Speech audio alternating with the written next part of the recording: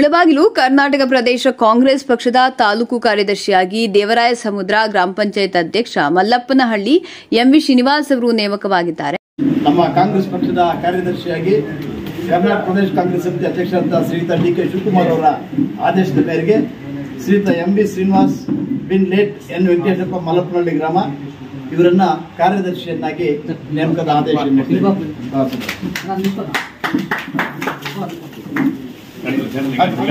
KPCC ರಾಜ್ಯ ಅಧ್ಯಕ್ಷ DK Shivakumar ಅವರ ಸೂಚನೆಯಂತೆ ಆವಣಿ ಬ್ಲಾಕ್ ಕಾಂಗ್ರೆಸ್ ಅಧ್ಯಕ್ಷ ಎಂಸಿ ನೀಲಕಂಠೇಗೌಡರು ನೇಮಕಾತಿ ಪತ್ರವನ್ನು ನೀಡಿ ಪಕ್ಷದ ತತ್ವ ಸಿದ್ಧಾಂತಗಳ ಅಡಿಯಲ್ಲಿ ಕೆಲಸ ಮಾಡಿ ಪಕ್ಷ ಸಂಘಟನೆಗಾಗಿ ದುಡಿಯಬೇಕೆಂದು ತಿಳಿಸಿದರು.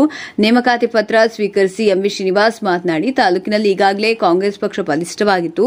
ಯಾವುದೇ ವಿರೋಧಿಗಳು ಬಂದು ತಾಲೂಕಿನಲ್ಲಿ ರಾಜಕೀಯ ಮಾಡಲು ಆಗುವುದಿಲ್ಲ. ಅದರಿಂದ ತಾಲೂಕಿನಾದ್ಯಂತ ಸಂಚರಿಸಿ ಮತದಾರರನ್ನು ಜಾಗೃತಿಗೊಳಿಸಿ ಪಕ್ಷ ತಾಲೂಕಿನಲ್ಲಿ ಗೆದ್ದೇ ಗೆಲ್ಲುತ್ತದೆ ಎಂಬುದನ್ನು ಮತದಾರರಿಗೆ ತಿಳಿ ಹೇಳುವ ಕೆಲಸವನ್ನು ನಾಳೆಯಿಂದಲೇ ಮಾಡಲಾಗುವುದೆಂದು ಹೇಳಿದರು. ಈ ಸಂದರ್ಭದಲ್ಲಿ ಆವಣಿ ಬ್ಲಾಕ್ ಕಾಂಗ್ರೆಸ್ ಅಧ್ಯಕ್ಷ ಎಂಸಿ ನೀಲಕಂಠೇಗೌಡರು ಟೌನ್ ಬ್ಲಾಕ್ ಕಾಂಗ್ರೆಸ್ ಅಧ್ಯಕ್ಷ ಅಮಾನುಲ್ಲಾ ಕಾಂಗ್ರೆಸ್ ವಕ್ತಾರ ಉಮಾಶಂಕರ್ ಪಿಎಲ್ಡಿ ಬ್ಯಾಂಕ್ ಅಧ್ಯಕ್ಷ R R Rajendragowda Gujjanahalli Manjunath Venkataramanappa Gollahalli Venkatesh car Srinivas Wajid Chota Saab ಮತ್ತಿತರಿದ್ದರು.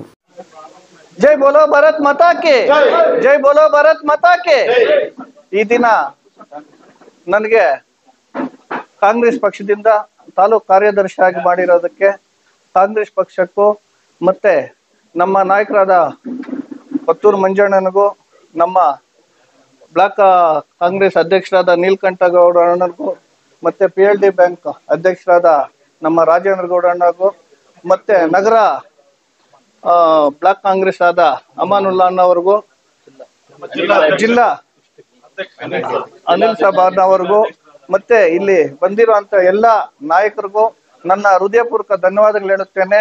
ನಮ್ಮ ಕಾಂಗ್ರೆಸ್ ಪಕ್ಷದಲ್ಲಿ ಇವತ್ತು ನನ್ನ ಕಾರ್ಯದರ್ಶಿ ಆಗಿ ಮಾಡಿರೋ ಒಂದು, ಆ ಒಂದು ಏನು ಜವಾಬ್ದಾರಿ ವಹಿಸಿದಾರೋ ಆ ಜವಾಬ್ದಾರಿಯನ್ನು ನನ್ನ ಶಕ್ತಿ ಮೀರಿ ನಾವು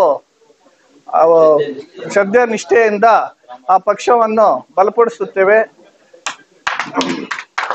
ಮತ್ತೆ ನಮ್ಮ ತಾಲೂಕು ಜನತೆಯಲ್ಲಿ ಮನವಿ ಮಾಡ್ಕೊಳ್ಳೋದೇನು ಅಂದ್ರೆ ದೊಡ್ಡವರು ಒಂದು ಮಾತು ಹೇಳ್ತಾರೆ, ಅನ್ನ ಇಟ್ಟಿರೋ ಮನೆ ಗೊಬ್ಬರ ಹಾಕಿರೋ ಹೊಲ ಬೆಲ್ಲೇ ಬೆಳೆಯುತ್ತೆ ಅಂತ ಹೇಳಿದ್ದಾರೆ.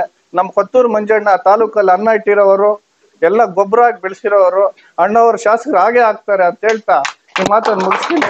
ಜೈ ಹಿಂದ್, ಜೈ ಕರ್ನಾಟಕ.